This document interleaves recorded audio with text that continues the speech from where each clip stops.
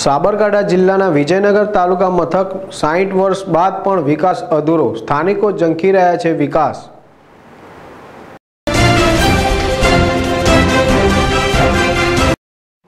સાબરકાંઠા જિલ્લાના અસ્તિત્વની સાથોસાથ વિજયનગર તાલુકાના પણ સ્વતંત્ર અસ્તિત્વ સ્થાપિત થઈ ચૂક્યું હતું. જો કે સ્વતંત્ર તાલુકાને સાઠ વર્ષથી વધારેનો સમય થવા છતાં આજ દિન સુધી પાયાની સુવિધાઓ મેળવી શક્યો નથી. આજે પણ રોડ, ગટર તેમજ એસટી બસ સ્ટેન્ડ વિહોણા. જો કોઈ તાલુકા મથક હોય, તો એ માત્ર વિજયનગર જ હોઈ શકે. સમગ્ર ગુજરાતમાં બસો એંસીથી વધારે તાલુકાઓ આવેલા છે. ત્યારે સાબરકાંઠામાં આવેલ વિજયનગર તાલુકા મથક આજે પણ પ્રાથમિક સુવિધાઓ મેળવી શક્યું નથી. આજે પણ વિજયનગર તાલુકામાં, તાલુકા મથક પર એસટી બસ સ્ટેન્ડની કોઈ વ્યવસ્થા થઈ નથી. તો બીજી તરફ આરસીસી રોડ તેમજ ગટર લાઇનની પણ વ્યવસ્થા સ્થાનિકો મેળવી શક્યા નથી. તે તરફ પારાવાર ગંદકી, ઉપદ્રવથી સ્થાનિકો હેરાન પરેશાન છે. તો બીજી તરફ સ્થાનિક કક્ષાએ નબળી નેતાગીરીને પગલે કોઈ પણ વ્યક્તિ જવાબ મેળવી શકતો નથી.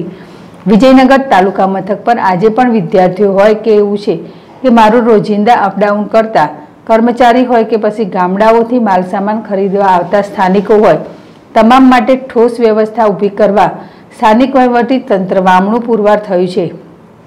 આજે પણ તાલુકા પંચાયત કચેરી તદ્દન બિસ્માર હાલતમાં છે. તેમજ શહેરમાં આવવા જવાના તમામ માર્ગો પર ગામડા પડેલા છે. તેમજ રખડતા જાનવરો થકી પારાવાર ગંદકી ફેલાઈ રહી છે. તેમજ આજના યુગની પરિવહન માટેની પાયાની જવાબદાર સમાજ માટે એસટી બસ માટે કોઈ બસ સ્ટેન્ડ પણ બનાવી શકાયું નથી.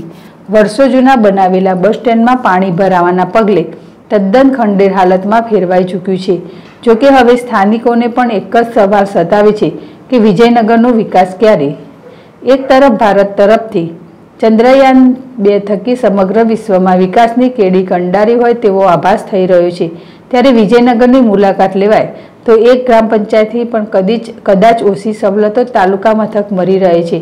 ત્યારે હવે વિજયનગરમાં વસવાટ કરતા વેપારીઓ તેમજ સ્થાનિકો તાલુકા મથક સમાજ વિજયનગરમાંથી મળતી સુવિધાઓથી ચૂક્યા છે. જોકે જાય તો જાય કહા જેવા ઘાટ સ્થાનિકો માટે સર્જાઈ ચૂક્યા છે. ત્યારે વિજયનગરથી તરત પ્રજાજનો રોજિંદી સમસ્યાઓમાંથી છુટકારો ક્યારે મળશે એ તો સમય જ બતાવશે. લલિત ડામોડ જેડસ ટીવી, વિજયનગર.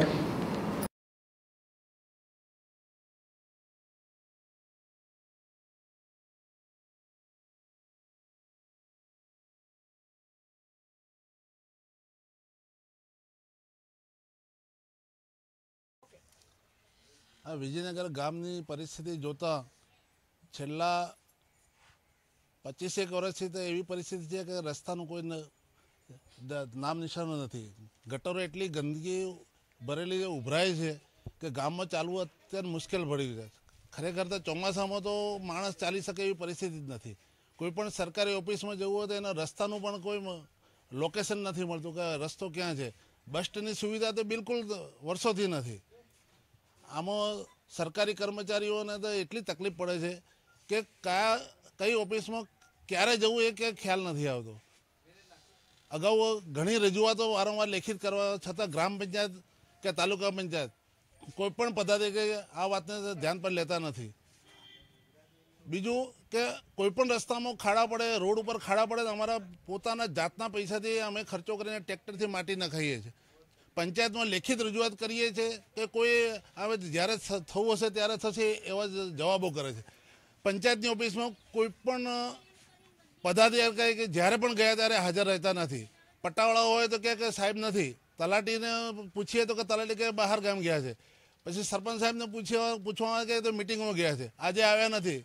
બપોર પછી ગયા હોય તો કે આજે કાલે સવારે દસ વાગે મળશે. આ રીતના ઉદ્ધત જવાબો અમને માણસોને આપે છે.